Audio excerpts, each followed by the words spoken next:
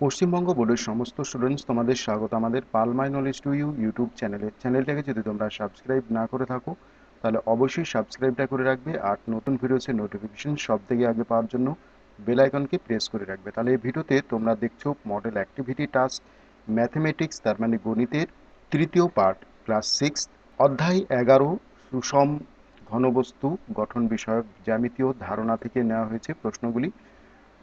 আর নিচের প্রশ্নগুলির উত্তর লেখো। প্রথম প্রশ্ন হচ্ছে এ শূন্য স্থান পূরণ করো। ফার্স্ট প্রশ্ন হচ্ছে লুডোর ছক্কা আকারের ঘনবস্তু হলো। দেখো, লুডোর ছক্কার আকারের ঘনবস্তুটি হচ্ছে এক রকমের ঘনক। তাহলে এখানে তোমরা ঘনক লিখবে, ঠিক আছে? দুই নম্বর বলছে একটি আয়তঘনের তল সংখ্যা কয়টি? দেখো আয়তঘন কাকে বলছে? আমি তোমাদের বুঝিয়ে দিচ্ছি। এটি ধরো একটি আয়তঘন, ঠিক আছে? যেমন ইট দিশলাই এগুলো হচ্ছে আয়তঘন। আর এগুলো তোমরা গুনে দেখবে এটির ছটি তল সংখ্যা রয়েছে। যেমন ওপর নিচে দুটি, একটা, দুটি, আগে পিছনে দুটি, আর পাশাপাশি, আশাপাশি দুটি। তাহলে ছটি হচ্ছে এটি একটা এটি একটা এই একটা, আর এই একটা, সামনের একটা। তাহলে এখানে দেখছ ছটি তল সংখ্যা রয়েছে, তাহলে এখানে লিখবে ছয়টি। ঠিক আছে? দুই নম্বর প্রশ্ন বলছে, একটি দুই মুখ খোলা ফাঁপা চোঙের তলের আকার কি রূপ? চোঙের তলের আকার, এর আকারটা বক্রাকার হয়, তাহলে তোমরা বক্রাকার লিখবে এখানে।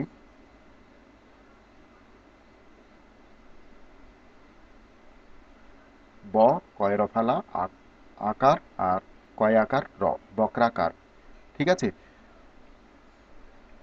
দুই নম্বর বলছে, একটি মুখ বন্ধ, শঙ্কুর কয়টি তল আছে?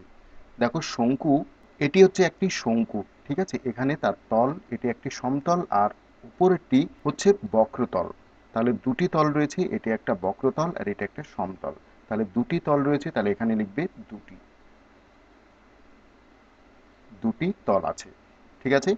তিন নম্বর প্রশ্ন, পাশের চিত্রের আকারের একটি কাগজকে ফুটকি বরাবর ভাঁজ করলে যে ঘন বস্তুটি পাওয়া যায় তার নাম কি?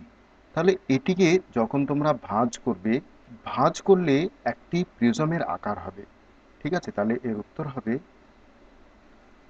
প্রিজম। প্রিজমের আকার হবে।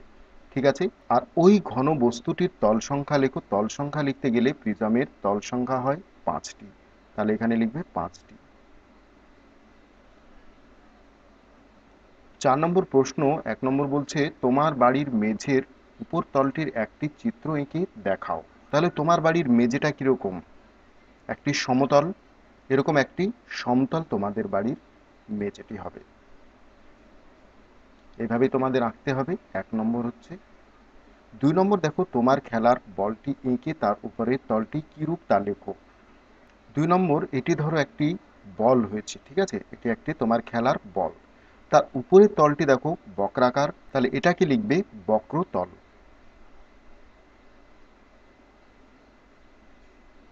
ঠিক আছে? তিন নম্বর বলছে, একটি নিরেট অর্ধগোলক, এঁকে তার তল সংখ্যা লেখো। অর্ধগোলক। তাহলে এটি দেখো, একটি অর্ধগোলক। অর্ধগোলক মানে একটি বলকে অর্ধেক করে কেটে নিলে। ঠিক আছে? তাহলে এর কটি তল হবে? এখানে দেখো, এটা একটি বক্রতল। আর এটি হচ্ছে একটি সমতল। তাহলে এর তল সংখ্যা কটি হলো? একটি আর একটি দুটি। তাহলে এখানে লিখবে তার তল সংখ্যা দুটি। দুটি তল সংখ্যা। তাহলে এখানে কোশ্চেন পেপারটা সমাপ্ত হলো। আশা করি ভিডিওটি তোমাদের ভালো লেগেছে, উত্তরগুলিও ভালো লেগেছে। যদি ভিডিওটি ভালো লেগে থাকে, তাহলে ভিডিওটিকে লাইক কমেন্ট ও শেয়ার করো। তাহলে দেখা হবে পরবর্তী ভিডিওতে। ধন্যবাদ।